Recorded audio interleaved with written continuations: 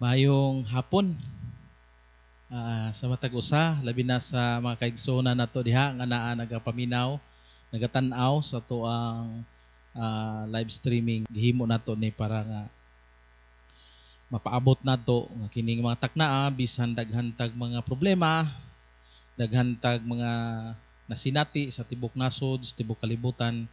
Pero dili nato undangon ang mga paghandom pagpamalandong sa pulong sa Ginoo. So, in behalf sa General Baptist Church of San Francisco, ah, kami mapasalamaton tungod kay ah, ni amo kanunay, na amo kanunay sa inyong mga panimalay naga ah, abli usab sa inyong mga ganghaan aron makapaminaw, makatanaw, ah, makadungog sa pulong sa Ginoo nining ah, kahaponon. So nining si Manaha siguro na nibago lang ta no nga wala ta kahimo sa mga paghandom sa mga importante nga mga butang ah, sama sa mga katapusan nga mga pulong nga gihimo sa Ginoo dito sa ibabaw sa cross. But beside that, ah, grateful ta sa Ginoo until now nga nagapadayon ta gihapon sa mga buluhaton. So ah, ang Ginoo magapanalangin sa atong matag usa ka kinabuhi. Magaampo sa ta, no? Usa ta maga ah, hisgot o magapamalandong sa pulong sa Ginoo. Amahan mo nga langit nun, aniya kami Ginoo, nagadangop, nagaduol nga kanimo uban sa dakong pagpaubos Ginoo. O pasayloa kami kay na kami mga kalapasan, among nasod, among panimalay, among kinabuhi. Doon na kami mga pagkulang, kung nagtuo kami Ginoo nga imo kaming ah, gitawag ang among atensyon para nga mahigmata kami, masayod kami nga ikaw ang Dios, the sovereign God, nga mo'y tag-iya sa among kinabuhi, mo'y nag-supply sa among panginahanglan, ug mao'y naglukat kanamo gikan sa yanang sa pagpakasala. Pasaylo ami Ginoo tungod kay nay mga bahin nga kami nagkulang kami Ginoo ang among mga prioridad na disalign. And forgive us, Lord. Salamat sa alignment nga imong gihimo nga ni kanamo. Imo ming gipabati Ginoo nga ikaw ang tagaan namo o bili sa among kinabuhi.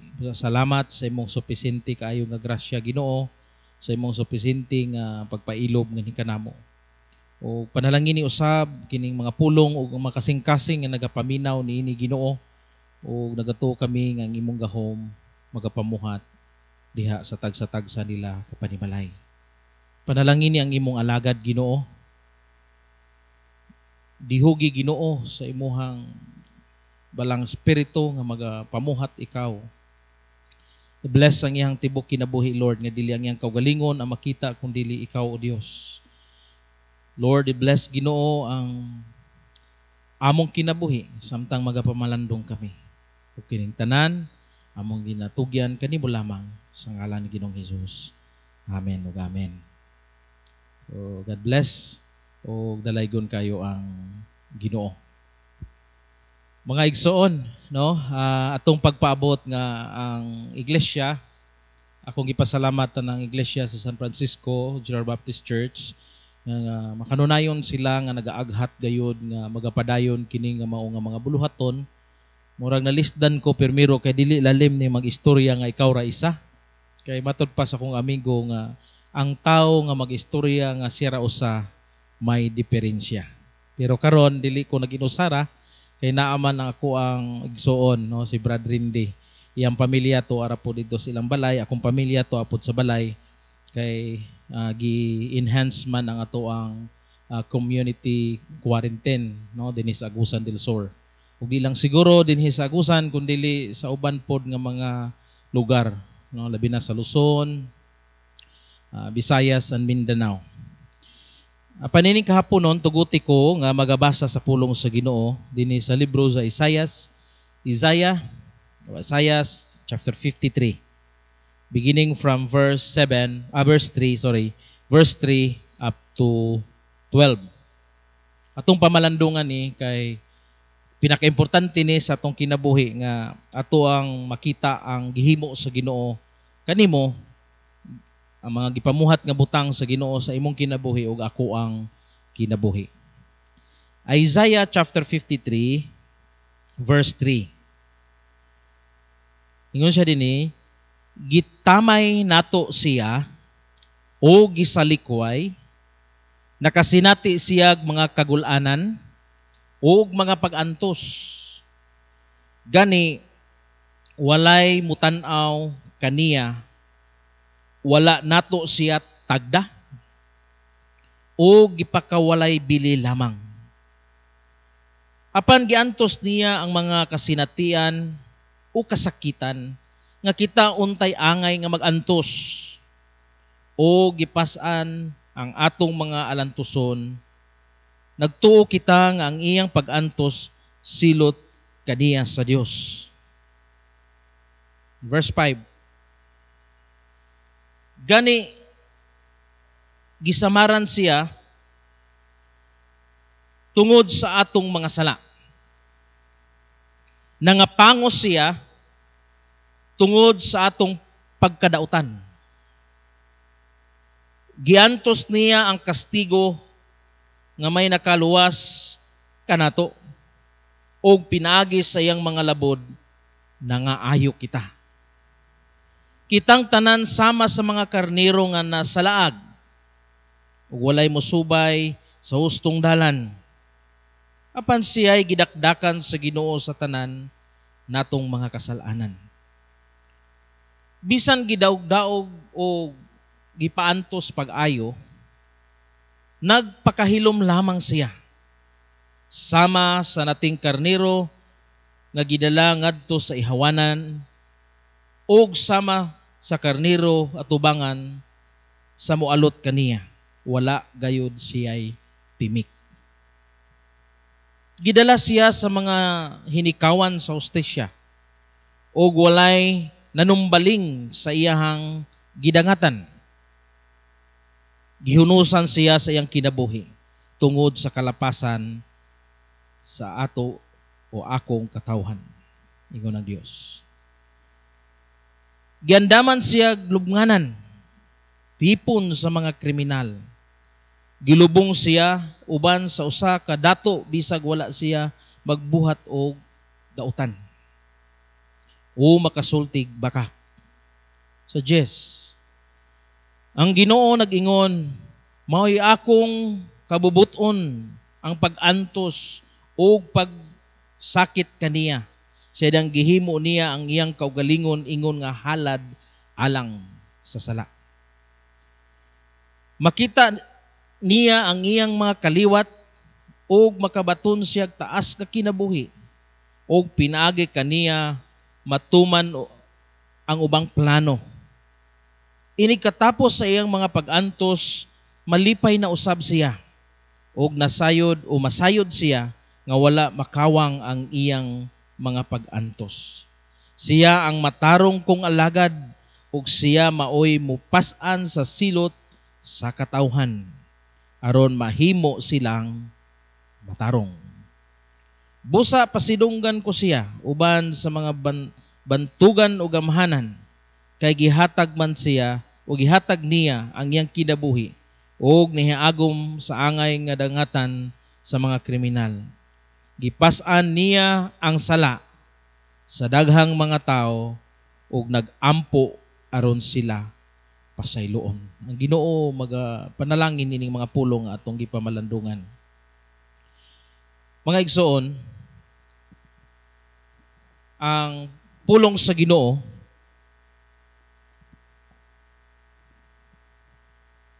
diha nimo makita nga wala nagkasumpaki, nagkauyon. So giuluhan ako ni, ni nini, giuluhan ako ni nga mao nga pagpamalandong nato sa mga uh, pag sa ulog nato sa seven last words nga gihimo sa Ginoo didto sa ibabaw sa cross. Giuluhan ko ni not a bone to be broken. Even a single bone not a bone to be broken. Nagka-align ba ang gi-prophesy sa mga prophet? Nagka pareha ba? No? Wala ba in Old Testament and New Testament? Now, kung ablihan ninyo ang inyong mga Biblia sa Salmo, gisulti niya diha nga bisan diha sa mga bukog wala gyoy nabungkag walay na bali mga igsoon dinhi sa Salmo 34 versikulo 20 Nagaingon siya dinhi sa Old Testament din siya ampingan siya pag-ayos sa Ginoo ug dili siya kabaliag bukog. Munang akong gitan-aw ang John kung magkapareha ba sila. Because it is being prophesied, uh, one of the prophecy, and the prophecies nga naa diha sa Bible, nga gitag na daan sa Old Testament, nga ampingan siya pag-ayos sa Ginoo ug dili siya kabaliag bukog. Morning akong giuluhan kinig not a to be broken. So this morning or this afternoon, gikinahanglan nga atong tan-awon ang Old New Testament. Now, din sa John chapter 19 verse uh, 33. Ihapod nga gipatan-aw sa dihang giduslak na sa giduslak na ang kilid ni Hesus. Ningon siya dinhi sa una ta sa 32 no busa nangadto ang mga sundalo ug ang ilang ug ilang gipamali ang mga bitiis sa duha ka tawo gilansang sa cross uban kang Hesus apan sa pagkaduol na nila kang Hesus nakita nila nga patay na siya busa wala nila balia ang iyang mga bitiis so sakto gyud no so mo ni nakapaaghat sa tuwang matag usa kinabuhi nga maghandom gyud ta sa gitawag nato seven sayings. So doon ay mga importanteng mga butang sa Old Testament it is being prophesied nga even diha man sa pagbali-bali sa mga bukog walay bisan usa. No nga, nga nabanggi. Kay mao man gisulti daan din sa Old Testament. No? In verse 20 nga gi-preserve gyud. The Lord preserve. Grabe ka amazing no nga gihimo nga nagkahaom kining mga bersikulo ha. The Lord preserve them completely not one of their bones is broken so pagkakita pod sa mga disipulo I mean pagtan-aw nila dito sa mga soldiers Roman soldiers kung tan-awon po nimo ang New Testament, sa John chapter 19, diha po nimo makita nga paghuman nila pangmanggi, no? Grabe ang ilaha sa ano no kay bitayon pagyud unya human hipuson ang lawas unya banggion banggion ang mga tiil aron gyud masiguro gyud no pero kay gitagna na no murag batasan nila nga pagkahuman gyud kamatay bali-balion ang mga bukog pero si Jesus Christ in the book of Psalms, chapter 34, verse 20, diha nagitakda nga i-preserve ang iyang mga bones. Dili gyud mga bali. Muna nga dinhi sa 19, kung ako ang natanawan dinhi ang 19 uh, 33, diha pod nakita sa dihang human na og luslak sa iyang kilid, iyahang gipakita miduol ang mga sundalo nitong dapita, no? Apan sa pagkaduol na nila kang Hesus, nakita nila nga patay na siya, busa wala nila balia ang iyang mga bitiis. So natuman ang gisulti sa Old Testament og na fulfill og nahimo nga dunay katumanan no dinhi fulfillment diri sa New Testament. Dunay mga other instances nga gi-prophesy nga nangatuman In Psalm 69, gipainom siya og vinegar, natuman po diha sa John chapter 19 verse 29. Sa Isaiah chapter 53 nga naa siya taliwala nga magilansang sa cross diha tupad sa mga uh, robbers natuman. Ningon ang Isaiah chapter 53, even his mouth wa man misulti, gi-accuse siya pero wala niya, nagpabilin siyang silent. The Matthew says, it is true. So this morning, not a bone to be broken. Nganong gialaw ni sa Ginoo nga matuman man ang mga programa nga gisulti sa Old Testament o karon sa New Testament ug mao ni mag-aghat sa tuwa the reason why we ponder even his last seven words in the cross. If you observe in the book of Isaiah, kung atong balikon ng book of Isaiah, chapter 53, nga atong gibasa na to ganina, diha nimo mabati ang pinaka lisod sa iyahang kahimtang sa diha nga ni gitamay sa mga katawhan, gisalikway sa mga katawhan, walay panahon ng mga katawhan o kay balo ba mo nga kining mga, mga tawhana mao na silang mga tawhana nga na, na, nabati nila ang milagro sa Ginoo. Pero sila ra gihapon tong mitawag nga ilansang sa Ginoong Hesus. Gitamay o ganin in, in verse 3 and 53. Please uh, uh, ablihin ninyo yung mga Biblia. In 53 verse 3 siya gitamay nato siya o gisalikway. Nakasinati siya mga kagulanan ug mga pagantos. Gani wala mo tan-aw kaniya. Wala nato siya tagda o gipakawalay. Bili lamang nato siya. Ining mga panahon na I hope nga ma- ma-reflect nato ang Isaiah kung natagaan ba nato bili. Kining panahon na karon nga adlaw nga atong gihandom dili man kada tuig mamatay si Ginoong Hesus Nagdupas siya for past 2,000 years ago. Pero nagpabilin gihapon ang verse 3 na bukay Bisaya nga ato gihapon siyang gitamay daghang pamaagi nga atong matamay. Ngano man wa na to natagaan siya og value. Ang atong prioridad ang atong kaugalingon. Ang atong prioridad ang atuan na lamang kaugalingong katagbawan. Og ningon siya sa verse 3 nga gitamay nato siya og gisalikway nakasinati siya sa mga kagulanan nga mga pagantos gani wala makatan-aw kaniya wala nato siya tagda o gipakawalay bili lamang. In verse 4 Apan giantos niya ang mga kasakitan. Giantos niya kita unta ang angay nga magantos. In verse 4 siya, kita untay angay nga magantos. O gipasan ang atong mga alantoson, nag nagtuo kita nga ang iyang pagantos silot kaniya sa Dios. Ang atong pangunahuna ningon ng Biblia nga kana silot na kaniya sa Dios apan wala tungod sa iyang gugma siya ang nagantos, siya ang nagsakripisyo, iyang gipasan ang atuang mga alantuson, ikaw ug ako unta ingon ang Isaya ang magpasan niini. Aban giantos niya ang kasakitan nga kita unta angay nga magantos ug gipasan ang atong mga alantuson.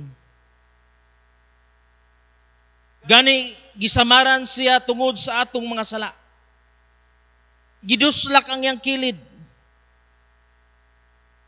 Nangapangos siya tungod sa atong pagkadautan.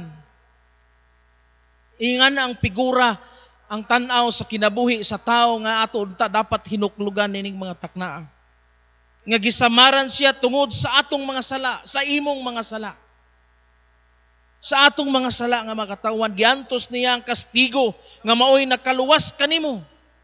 Pagbunal sa mga katawan nga gikastigo siya, gilatos siya, Kuyaw pagyud ang latos nga iyang gilatos niya itong panahon na kay napagyoy napagyoy murag taga nga mukawit. Apan ningon siya giantos niya ang kasakitan nga kita untay angay nga magantos gipas-an niya ang atong mga alantuson. Gani gisamaran siya tungod sa atong mga sala in verse 5. Nangapangos siya tungod sa atong pagkadautan. Giantos niya ang kastigo nga mao'y nakaluwas kanato ug pinaagis sa iyang mga labod nga ayo kitang tanan. Katong dunay mga masakiton na ay gibati katong nagamasakiton karon ay mugkaguol.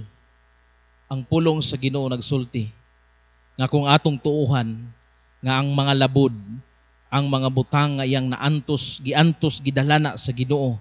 Bisan man ang iyang pag-antos o mga pagkastigo o pinaagi sa iyang mga labod na nga ayo kita. Dalaygo ng Dios. Kitang tanan sama sa mga karnero nga nangasalaag o wala mo subay sa hustong dalan apan siya gidakdakan sa Dios o sa Ginoo sa tanantang kasalanan. Bisag gidaog-daog siya in verse 7. Gipantos pag-ayo, nagpakahilom lamang siya. Even his mouth, he did not open. He was threatened. He was threatened harshly, but endured it humbly. He never said a word, the Bible says. Wala gyud siya gibungat sa iyahang nga baba, no? Nga paglikramo. Iyang gipakita sa mga katawhan ang iyahang dako nga responsibilidad para kadimo og kanako. In verse 8, gidala siya sa hinikawan sa hostesya ug walay nanumbaling sa iyahang gidangatan. He was arrested and sentenced and lead to die. Hinumduman na to, no one cared about his life.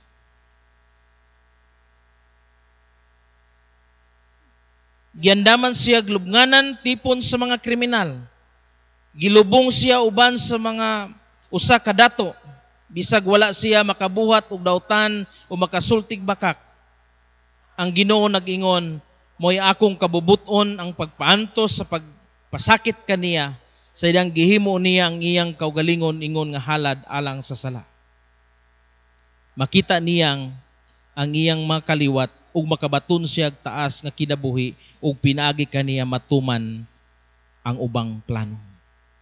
Verse 11 in Isaiah 53. Inig katapos sa iyang mga pagantos, malipay na usab siya. Og masayod siya nga wala makawang ang iyang mga pagantos. Siya ang matarong kung alagad og siya maoy mupasan sa silot sa katawhan aron mahimo silang matarong Busa pasidunggan ko siya uban sa bantugan o gamahanan kay gihatag man siya ang iyang kinabuhi og nahiagom sa angay dapat sa mga kriminal. Gipasan siya naggipasan niya ang sala sa daghang mga tao ug nagampo aron sila pasayloon. Imo bang napamalandungan ni Igsoon? Ngayang giantos ang mga kasakitan dito sa ibabaw sa cross. Natuman ang maong mga programa from Old Testament to New Testament nga wala gani bisan man ang iyahang mga bukog. Wala mabali kay nagpamatuod lamang kini nga kining maong gisaad sa Ginoo sa imuha ug sa kuha ang pulong sa Ginoo matinud-anon gayod gikan man kaniadto hangtod karon og sa umaabot. Sadyang nasa dito, nagdupa dito sa ibabaw sa cross. Una nga mga pulong ngayang gilitok din sa Lucas 23.34 na ingon siya, Father, forgive them, for they do not know what they do. Grabe no, bisa naa siya dito sa ibabaw sa cross, iyahang gipakita ni Jesus nga ma-fulfill ang prophecy that he would make an intercession for the transgressors. In 53 verse 12 sa sabuk o Isaiah, iyang gipakita diha nga diin siya busa ningon siya pasidunggan ko siya uban sa mantugang gamhanan kay gihatag man siya sa iyang kinabuhi og nahiagom sa angay niyang dangatan sa mga kriminal gipas-an niya ang sala sa daghang mga tao ug nagampo aron sila pasayloon Bisan naa siya dito sa ibabaw sa cross. Ang Isaiah is the complete story. Nga ni nakita ninyo na in verse 53, verse 12, despite of his agony, despite of his pain nga nabati naga naga ngulo si naga uh, bati siya diha man sa iyang agony sa pagagulo sa kinabuhi. Pero wa gyud siya mibungat mangganig mga pulong nga pagmahay kundili si Jesus was concerned sa atong kinabuhi for the forgiveness of those who hated and despise him bisan man diha sa iyang kahimtang dito sa ibabaw sa cross, niingon pagid siya, Father, nagpray siya. Forgive them. Mo na nga karon ang refleksyon sa atong kinabuhi this first word that the Lord uttered in the cross. Ningon siya, mo po niyang gitudlo nga ni kanato in the book of Matthew ningon siya in Matthew in the Lord's prayer nga kung dili ta mo pasaylo sa tuwang isig ka magtotoo sa itong kauban sa tuwang nakasala kanato ni siya dili puta pasayloon sa Dios nga tuwa sa langit. The first words it reminds us the word forgiveness. Are you willing to forgive? And forget dili ta usay kabalo mo pasaylo no? Lunlun lang nato na mapakita pero si Jesus, iyang gipakita, despite of his situation, ang iyang concern was for the forgiveness of those who hated him and despised him. O gitagaan niya og infinite mercy.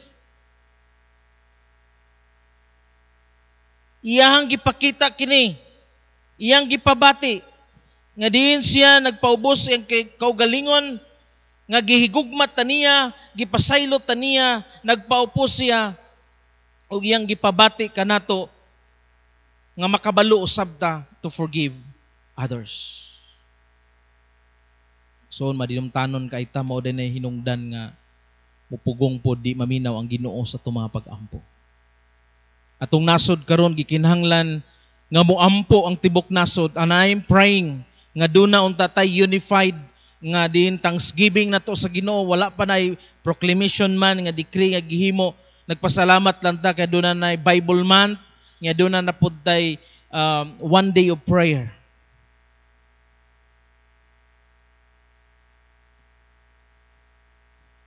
Igsoon. Kabalo ba ta? Forgive. Sa atong matagusa. And that's the first word gidemonstrate sa Ginoo the word forgiveness. Second word nga ato makita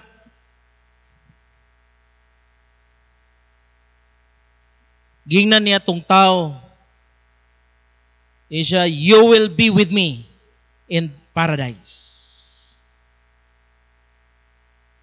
In the two criminals in the cross, sa diha nga si di nakat gitagna no? It is being prophesied. Gitagna siya with the two criminals. Gi-prophesy sa Bible nga magasakripisyo ang iyang kinabuhi and being crucified for the robbers in book of Isaiah chapter 53 verse 12 nga din siya patungan diha sa mga robbers were crucified with him.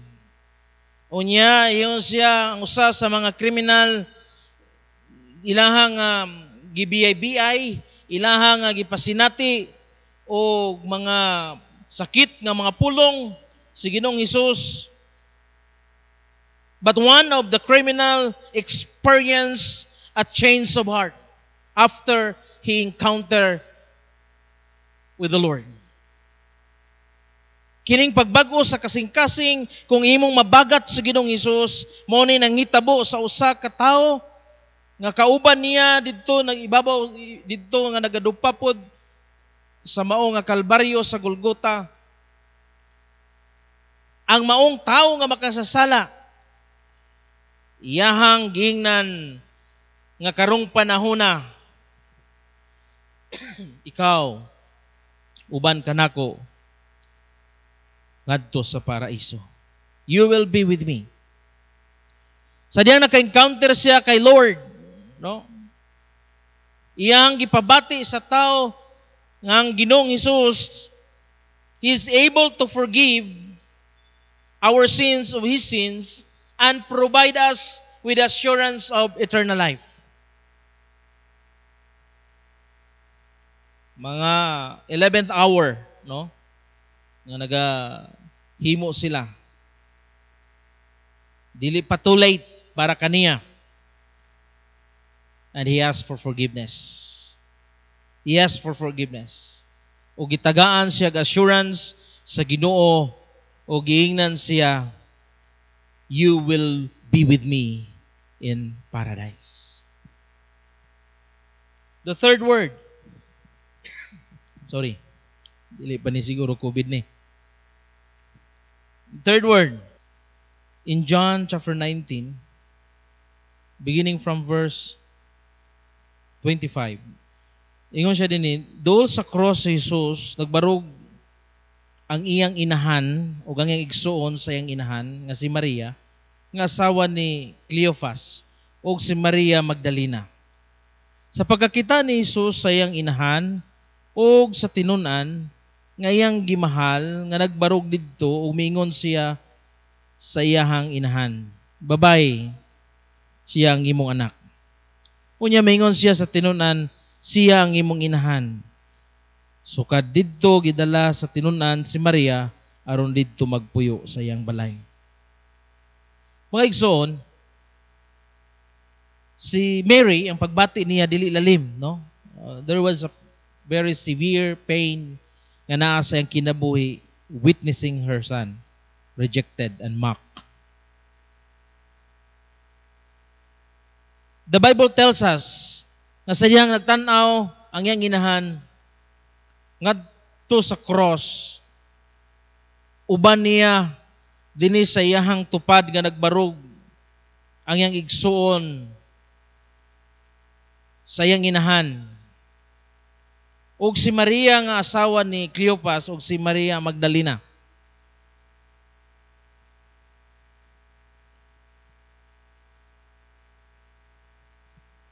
iyahang gisultihan ang mga disipulo sa simple kaayo nga mensahe sa ikatulong nga mga pulong no nga nagpahinumdom kanato to honor your mother and your father Muna ikatulong nga mga pulong dito sa ibabaw sa cross. Daghang mga bata karon diwa na espiritu sa ilang mga inahan. So mga bata ingon ang episo 6 uh, episo 6:1 Ephesians 6:1 Children obey your parents in the Lord for this is right. In verse 2 with promise long life on earth. So nining panahon na imuhang ipabati karon ang respeto sa imong inahan. Kay ni message ni Lord in the cross. Ikaw pat nga mga pulong, ili-ili lamas sa baktani.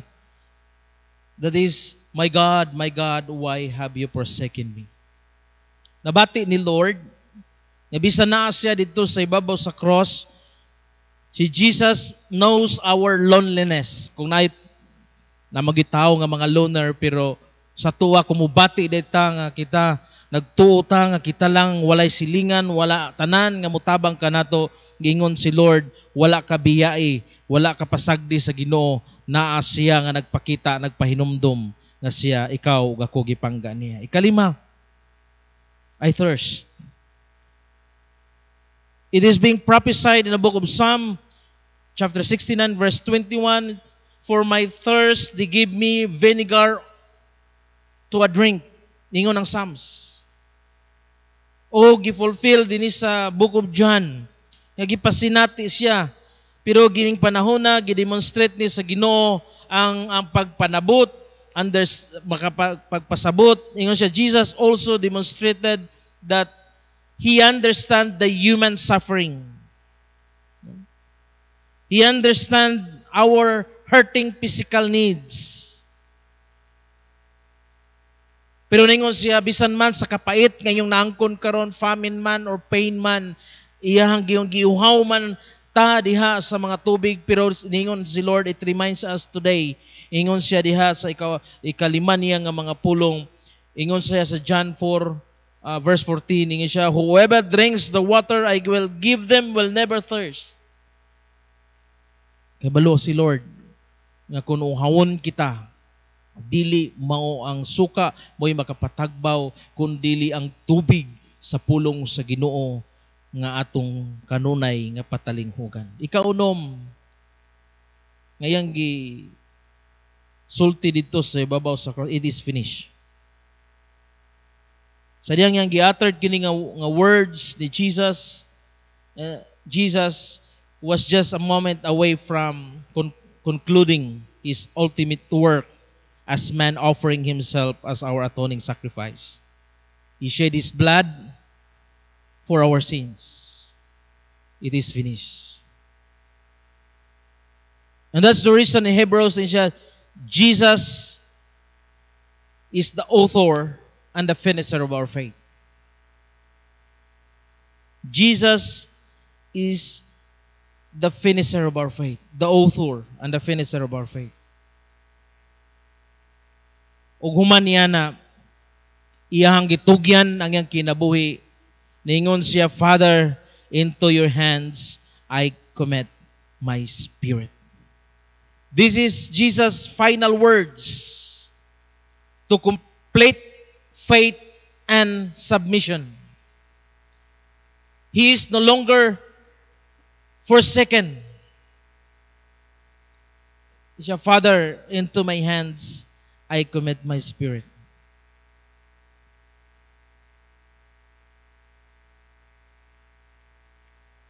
Iyang gitugyan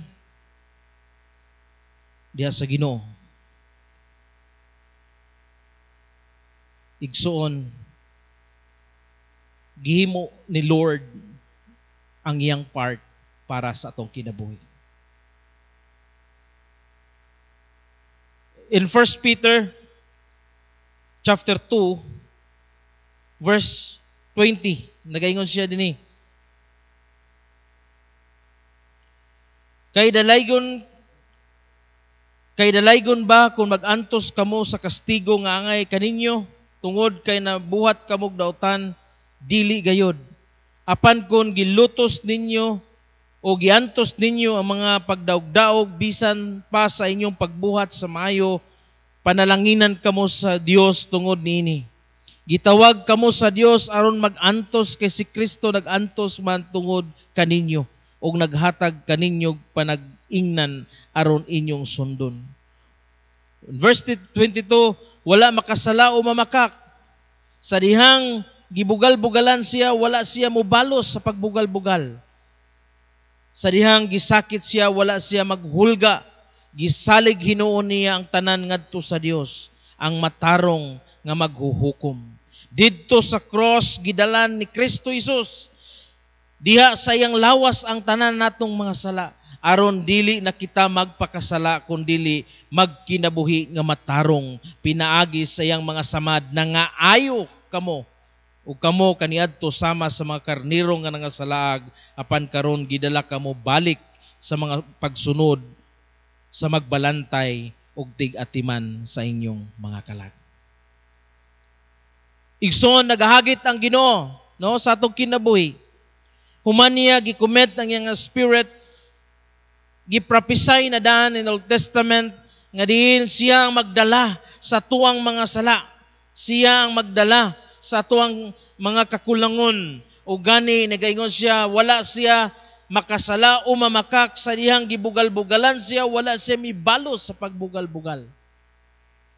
Igsoon, ang gihimo sa Ginoo dito sa ibabaw sa cross, nagpakita siyang gugma nga ni kanato. Bisan man naa siya sa agony dito sa ibabaw sa cross pero nagpakita gihapon siya talamdan sundununon nga, nga kinaiyahan nga hangtod karon atong gihandom ang mga importante nga mga pulong dito sa ibabaw sa cross.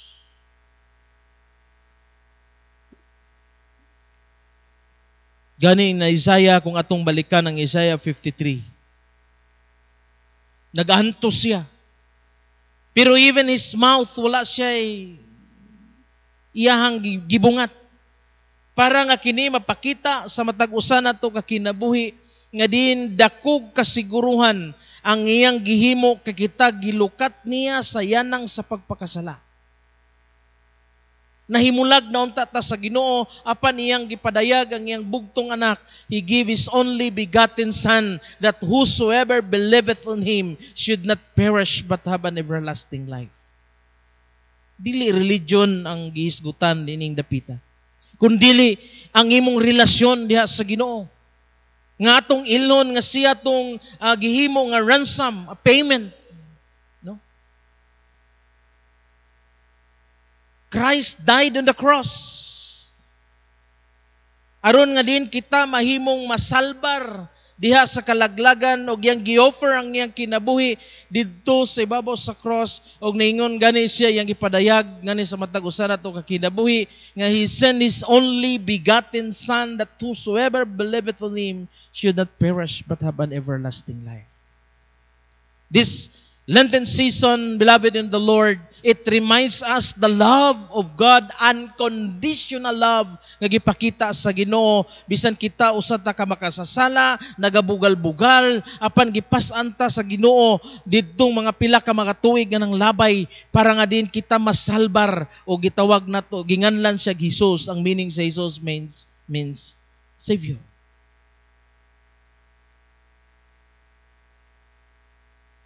Iyahang gihatag para makita nato ang iyang dakong gugma nga ni kanato.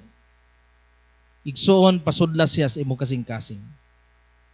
Ang kahimtang nato karon nakasinati tag problema sa nasod ang COVID-19. Nakailatan ni COVID. Pero di nato makita si COVID. Kung atong i-claim ang pulong sa Ginoo sa atong matag usa kinabuhi. Kung doon naman kay balatian ang ingon ang pulong sa Ginoo ang iyang mga labod o ang iyang hamili nga dugo mo'y magapamuhat sa imong kinabuhi akong kinabuhi. Dili man ni akong pulong. Pulong ni sa Dios nga atong gituohan. Igsoon imo bang napamalandungan kining mga pulunga sa pila ka mga katuigan nga nang imo bang napamalandungan karon? Nga diin bisan ang Old Testament. Mihaom dinhi sa New Testament ang mga prophecy. Not even single bone nga nabungkag. Ug natuman ang gingon sa Psalms 34 not a bone to be broken Therefore, the word of the Lord nagpakita lamang sa atong matag usa nato ka kinabuhi. Nga matinud-anon ang pulong sa Ginoo kaniadto. Nga matinud-anon ang pulong sa Ginoo hangtod karon. Og nagtuo ko nga matinud-anon ang pulong sa Ginoo kung nagsaad siya sa imong kinabuhi og eternal life imo siyang dawaton karon nga imong personal nga savior sa imong kinabuhi. Nagsaad ang Dios og dili 15 years sa imong kinabuhi kundi nagsaad ang Ginoo eternal life together with the Lord. Unsa may angay buhaton? Accept first that we are sinners. Nga kita tong gipakamatyan sa Ginoo dito sa ibabaw sa cross. Ug atong tuuhan nga si Kristo mao ang buhi nga Dios wa siya namatay Dili siya kada tuig mamatay. Kung dili, kausa siya namatay para kanimo, para kanako, o giilatan niya. Kung nimo siyang dawaton karon ingon siya, ilhon ta ka nga akong mga anak. Unsa gingon sa Roma Roma 8:16. Kung, kung ang espiritu muban kanato Ingon siya, when the Holy Spirit mag-join together with our, our spirit, ningon si Lord, siya ang magpamatuod nga ikaw anak sa Dios. So dili ta maguol nga tawag untang ingnon ta ni Lord nga ikaw ako kang anak. Kay siya mismo ang ningon miangkon nga kita mga anak kung ato siyang dawaton nining mga taknaan. Dili masayang ang iyang pagdupa dito sa ibabaw sa cross. Dili masayang ang iyang pagantos. kung ikaw dunay Kristo nga magpuyo sulod sa imong kasing-kasing. Ang Ginoo magapanalangin sa matag usa nato ka kinabuhi. Magatindog ang tanan, siguro kung naamang ka, ayaw kaulaw nga motindog ka nga magaduko sa inyong mga ulo. Sa mga pag-ampo. Ugatong dumdumon ang gihimo sa Ginoo sa matag usa nato ka kinabuhi. Gihigugma kas Ginoo. Bisan man sa tong problema karon nasayod ang Ginoo niya bisan man sa tong kahimtang karon ang Ginoo nasayod sa atong kahimtang. Ato itugyan sa Ginoo ang atong kinabuhi. Magaampo ta amahan na mo nga langit nun Lord ani ang imo amo ang kinabuhi. Panalangin ni Ginoo human nga nakadungog kami sa imong mga pulong. Ang imo mga pagantos ang rejection nga nang hitabo Ginoo. Pero imo kining lampasan Ginoo gipakita nimo nga ni nga imong mga pulong Ginoo matinud-anon gyud gikan kaniadto hangtod karon ug sa umaabot Lord salamat kayo Ginoo ug nakita namo Lord nga imong pulong matinud-anon gayon. Not a bone to be broken. And that's the reason, Lord, we continue to ponder your word. In the book of Psalms, Lord, imuhang gipakita nga ikaw nabanhaw. But pasabot, Lord, in the book of Matthew na fulfill kini chapter 28 verse 9 your resurrection Salamat for that assurance Lord nga ikaw wa nagpabilin nga patay wa nagpabilin sa lubnganan nga hinatag ni Joseph of Arimathea the secret disciple who prepared the tomb. Ug didto Ginoo gisulod ang imong patayng lawas. Ug kana nga tum ebidensya kana Ginoo nga ikaw buhi kay wala ni bisan usa ka bukog ang nabilin. Busa ikaw among pasidunggan simbahon kay ikaw dili patay nga Dios kun dili buhi nga Dios dalaygon ka Ginoo sa walay katapusan sa ngalan ni Ginoong Hesus amen oh, amen dalaygon ng Dios o gamo mga pagpasalamat sa tumakaigsunan nga makanunayon nga nagapadayon sa mapagampo labi na gyud sa atong nasod nga giatubang nga mga problema. Don't lose hope. Ingnon ta mo inyong alagad Pastor John Gorgonyo padayon ta sa mga pagampo. Padayon ta sa pag-ilang ang Dios magapamuhat. Much power, much praise. O gingining tanan, mingon siya, ikinahanglan gyud nato nga din mo double time ang atong mga pag-ampo labi na gyud sa mga problema sa COVID-19.